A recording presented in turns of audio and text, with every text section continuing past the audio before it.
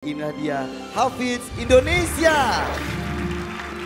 Batam, Balikpapan, Jakarta, Kalimantan Timur, Yogyakarta.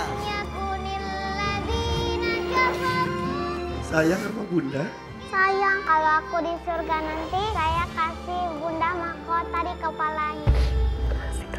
Di Hafiz Indonesia.